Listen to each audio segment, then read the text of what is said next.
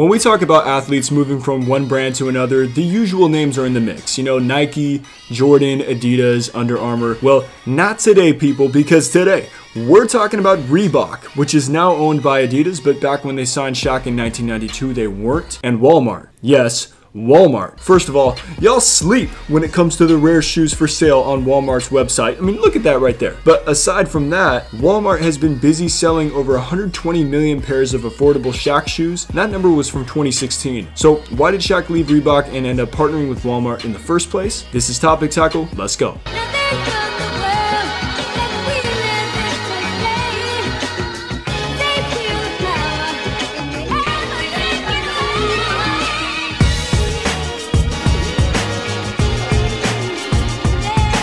What's good people, JC3 here, and you're watching Topic Tackle. If you want to support my channel, leave a thumbs up on this video, and if you want to take your support a step further, you can check out the official merch available below this video. I appreciate y'all, and let's get going. The best place to begin is with Shaq's deal with Reebok in 1992. Now, according to O'Neal, Nike offered him a contract, but the deal did not include a signature shoe. Nike had also just signed Alonzo Mourning, which proved to be a roadblock in getting Shaq what he wanted. Reebok, on the other hand, offered Shaq a signature shoe from the jump and inked him to a six-year deal. The Reebok Shaq line produced some iconic silhouettes, such as the Shaq Attaq, which released four different models from 1992 to 95. The Shaq Attaq 1 featured Reebok's well-known pump technology that allowed for customized fit and feel, a graphite midfoot shank, which made it the first shoe to feature carbon fiber, not the Jordan 11, which often gets credited for this, and the Shaq Dunkman logo on the heel. The Shaq Attaq 3 and 4 featured Instapump technology. It's a modified pump system which utilized an independent pump gun armed with a CO2 cartridge for fast and easy inflation. After the Shaq Attaq 4, Reebok released the Shaqnosis in 1995 featuring a nubuck and leather upper with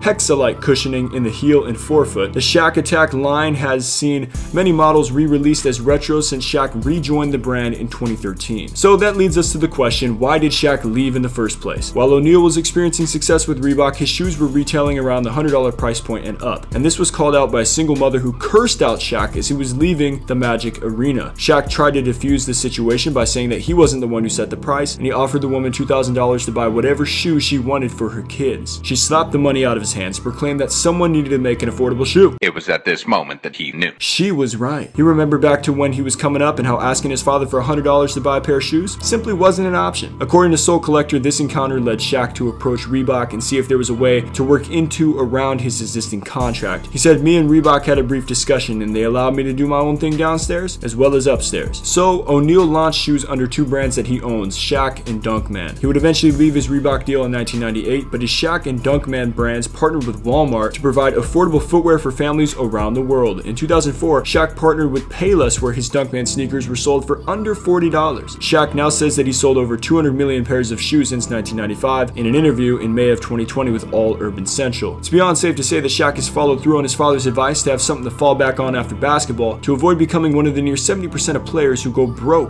in retirement. Now, when it comes to the aesthetics, Shaq sneakers have been criticized for ripping off multiple designs from name brands over the years. I mean, hey, anyone interested in these cement threes for $34.99? O'Neal has admitted that no one is going to beat MJ, but said, and I quote, you know how it is on the block. If you can't beat him, you can be next to him though. He made sure his Reeboks were next to the Jordans in Foot Locker and he still is trying to come as close to Jordan's designs as possible with his own brands. Sole Collector has a great article that features the most flagrant Shaq sneaker knockoff so if you want a good laugh, I highly advise you to check it out. The link's in the description. So let me know what you think in the comments down below. Have you ever had a pair of Shaq shoes? We'll be back with more Topic Tackle coming soon. Stay solid people.